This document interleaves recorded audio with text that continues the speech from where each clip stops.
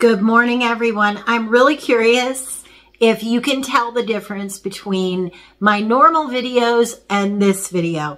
I'm using my phone on this video instead of my camera because my camera is charging.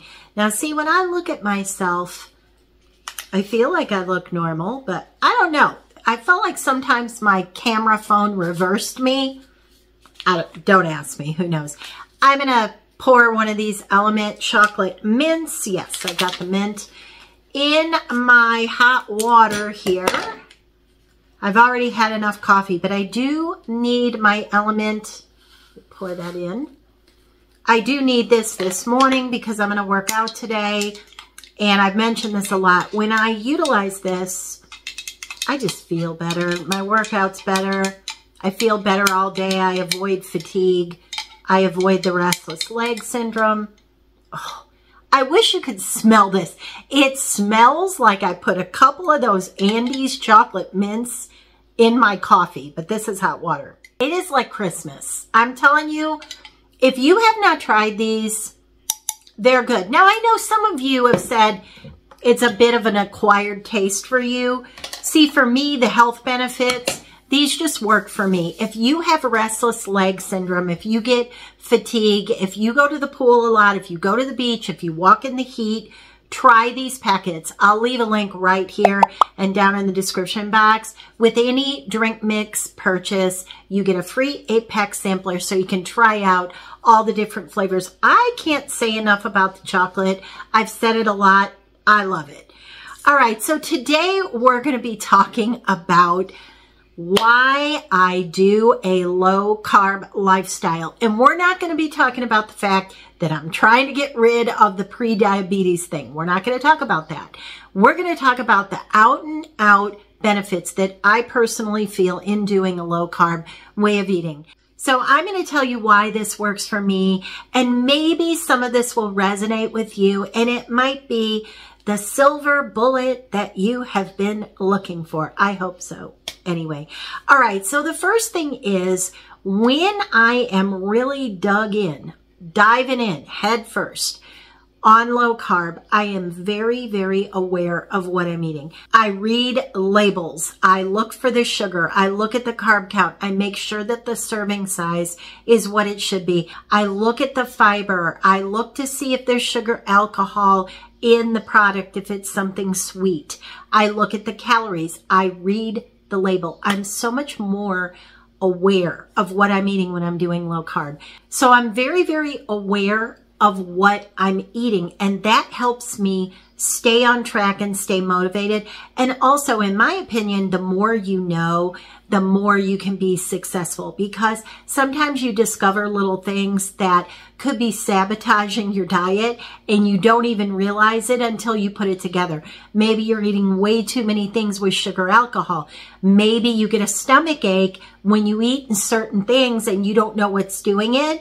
And then you can draw a correlation like I did. You know, I easily drew a correlation that maltitol my body doesn't like it. I can do most of the sweeteners, but that one I can't. I get stomach cramps anytime that I eat it. So I'm far more aware of what I'm eating and what's in the foods that I'm eating. Low carb and intermittent fasting go hand in hand so well. If you really want to jumpstart your diet plan, your weight loss, combine intermittent fasting with low carb, you will be so surprised at the results that you get. You feel immediate benefits from it. And by that, I mean things like you lose that anxiety feeling. If you know what I mean, you know, it's one of those things that if you don't have it, it's not going to resonate.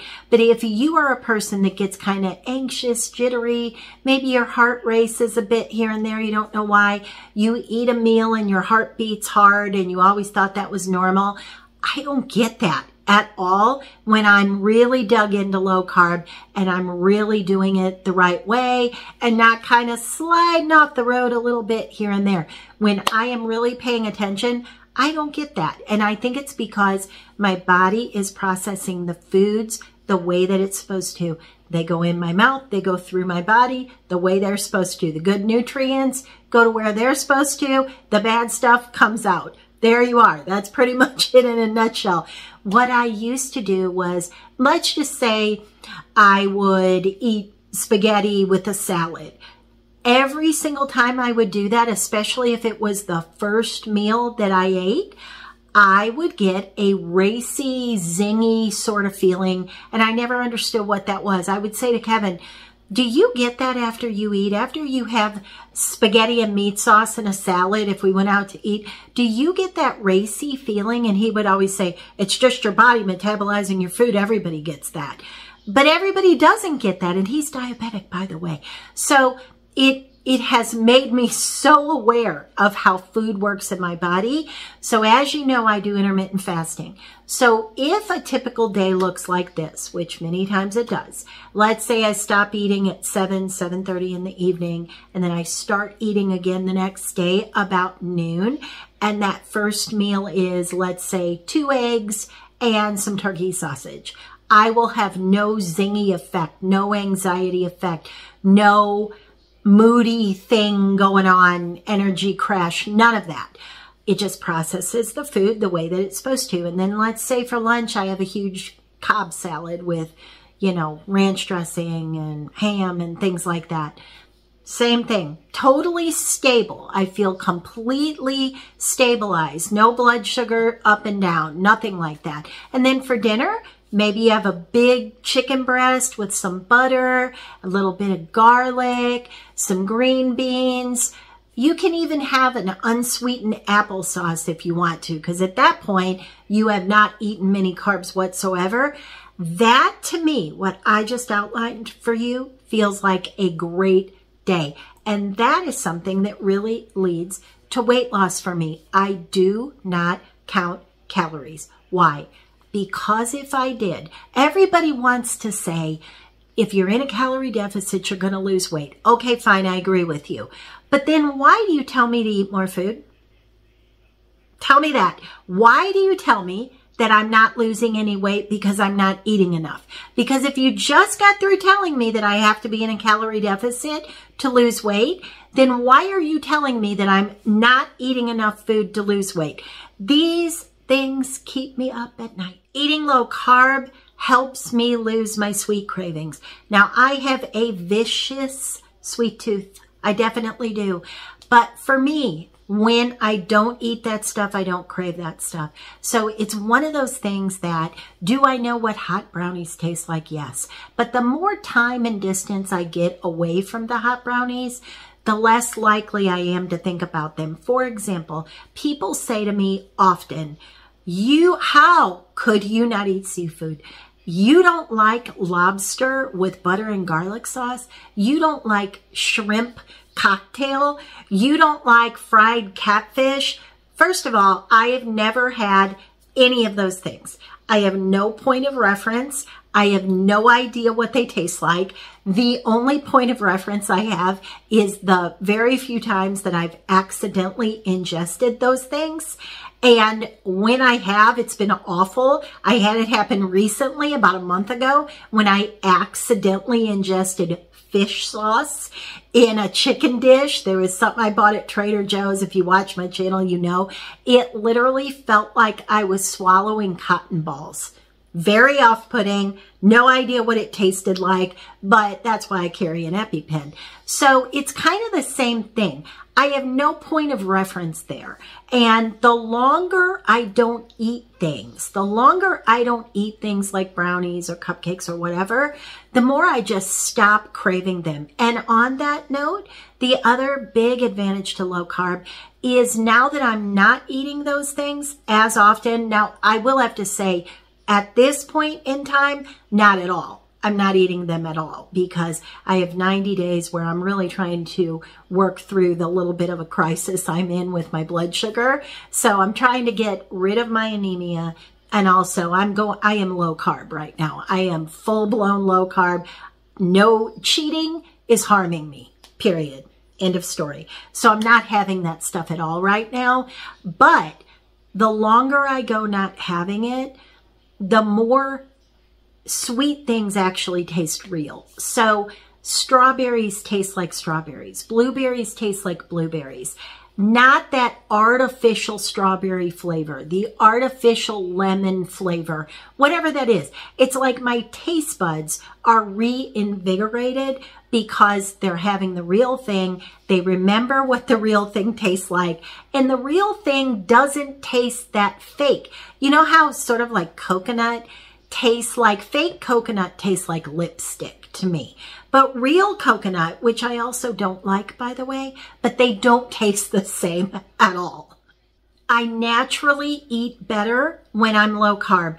I have to. I have to lean on fat and protein. So I have more chicken. I have more turkey. I have more vegetables. I also see results when I go low carb. I immediately see results. I physically feel better. The weight starts to come off. Generally, it's around one to two pounds per week, which is perfect. The weight comes off naturally. It's not a difficult weight loss because when you're eating things like butter and cream and cheese, when you're able to kind of jazz up your food with those things, it doesn't feel like a low fat, low cal diet at all. It just doesn't. It feels like you're giving your body what it wants. You know, sometimes you eat a bunch of food and you're still not satisfied. You feel like, I still need something, I'm missing something. You get sort of that empty thing because your body is craving something. Many times that is fat. And by fat, I mean butter or cream or cheese or olive oil or avocados or maybe some walnuts. There's good fat and there's garbage fat. I'm not going to go eat a bunch of bacon grease. I hardly ever eat bacon. I try to eat things in terms of fat that are true healthy fat. Olive oil is the big one for me. When I'm low carb, I don't worry about the olive oil. Now, I don't soak things in olive oil because that is not how things are supposed to taste. So those are the reasons that low carb is really working for me right now. I hope, and I'm very encouraged, I'm cautiously optimistic. So I'm cautiously optimistic that this is going to work. I am definitely going to give you all my blood work numbers when I do this. It's going to be three months. So I have, I've got two weeks in. I've got quite a ways to go, but I am 100% committed to this. 100% committed to it. So I will definitely let you know what my numbers look like when I get my blood work done again. It was not good before. Hopefully it's significantly better this time.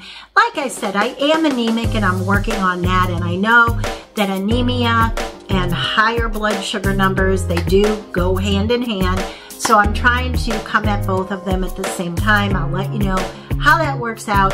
But all of these other reasons, non-health related, these are the things that I like so much about eating low carb and you may love it just as much as well.